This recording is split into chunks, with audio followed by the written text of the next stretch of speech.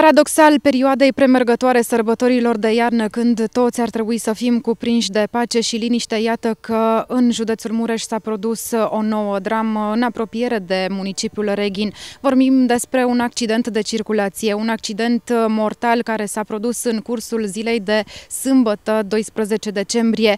Polițiștii au fost anunțați telefonic la ora 10 și 55 de minute de producerea acestui accident, care a avut loc la intrare în localitate localitatea Gurghiu, la mai puțin de 3 km.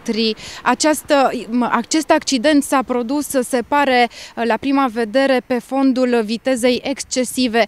Ceea ce vedeți dumneavoastră sunt rămășițele accidentului produs pe acest tronson de drum. Este vorba despre o familie care se îndrepta în localitatea Cașva. Uh, ar fi trebuit să fie un moment de bucurie pentru întreaga familie. Aceștia erau așteptați de ceilalți membri pentru tăierea porcului, obicei atât de așteptat în preajma sărbătorilor de iarnă. Se pare că uh, este vorba despre, potrivit primelor informații, informații, o familie din uh, patru membri, soț, soție și doi copii, un băiat și o fetiță.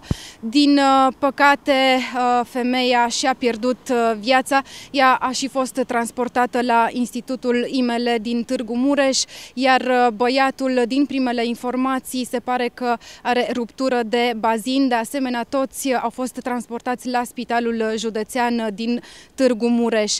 Nu este singurul accident care s-a produs pe acest tronson în ultimele zile a mai avut loc uh, un alt accident și se pare că totul uh, se, uh, sau cauza ar fi fondul, mm, pe fondul excesiv de viteză. Pentru Jurnal de Reghin, Mihaela Munteanu și Petrica Șomodi.